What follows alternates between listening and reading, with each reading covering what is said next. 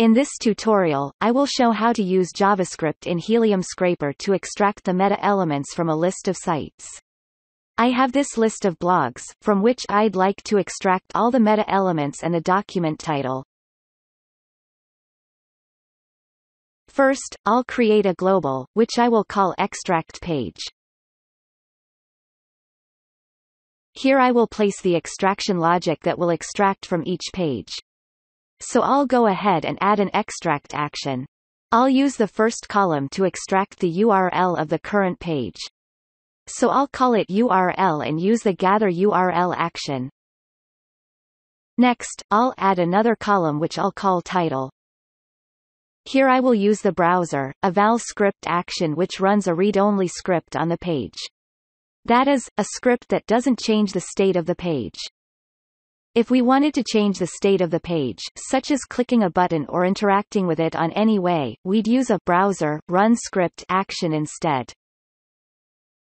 Here, I need to put a script that gets the title, so I'll expand the scripting category, right-click scripts and select Create Script. I'll call this script title.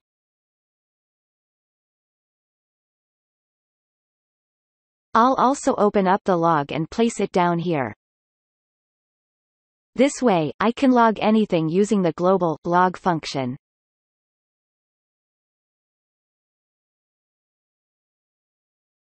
Or by returning a value, since a script is the body of a JavaScript function.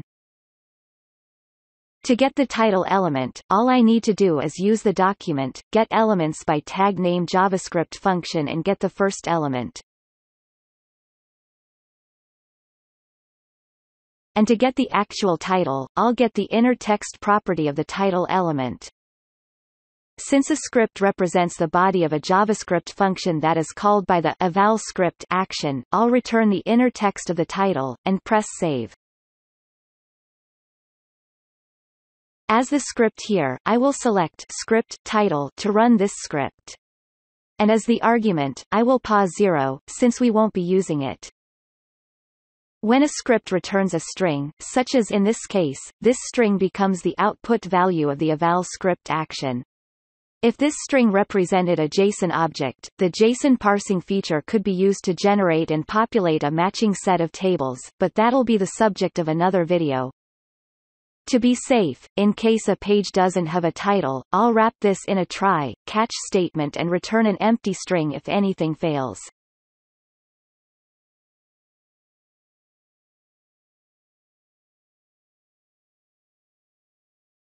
Now I'll visit a sample blog on the main browser.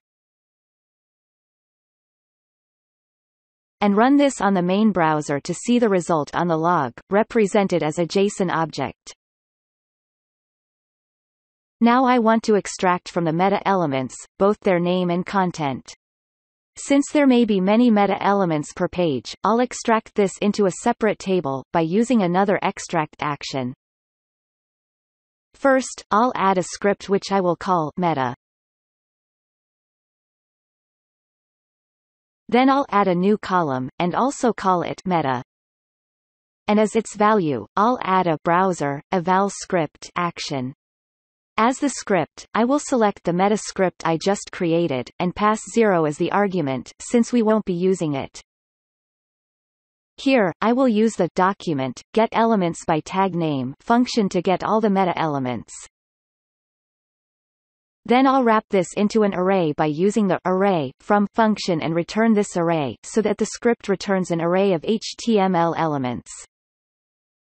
When a script returns an array of HTML elements, such as in this case, the eval script action selects each of the elements in this array and every action below runs in each of these elements, which in this case will be each of the meta-elements.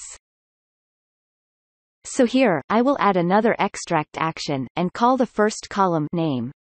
And for the value, I'll use a gather attribute action to get the name attribute of the meta element.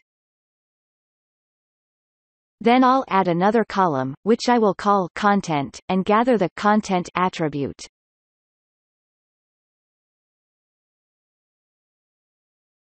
Note, again, that this extract action will run for each meta-element, since the script is returning an array of HTML elements. Now I will run this on the browser to see what we get.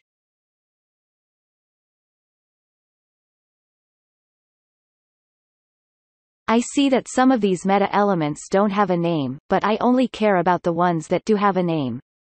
So I'll filter out the ones that don't on my script by using the filter JavaScript function.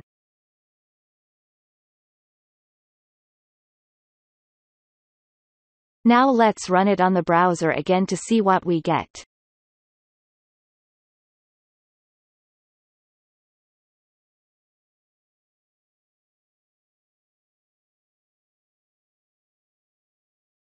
Finally, since I want to run this on each page, let's first go back to the list of blogs.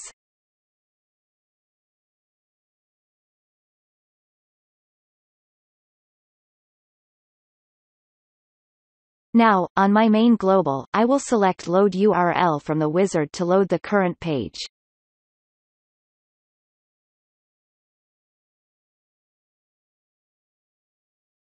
Then I'll select Navigate and create a selector that selects each of the links to the blogs, to visit each of these blogs.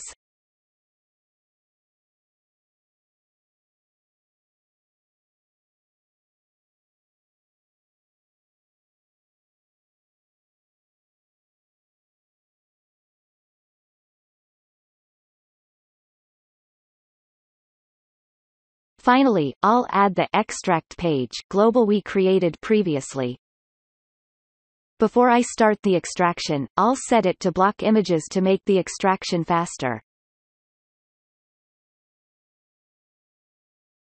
Now, let's start running the main global on the off-screen browsers.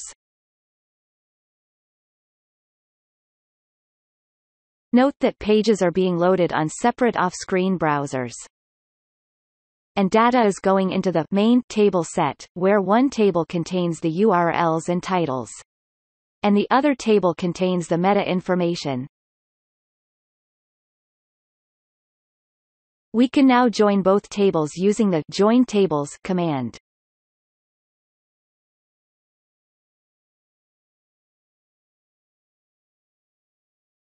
Or export the data to an XML file.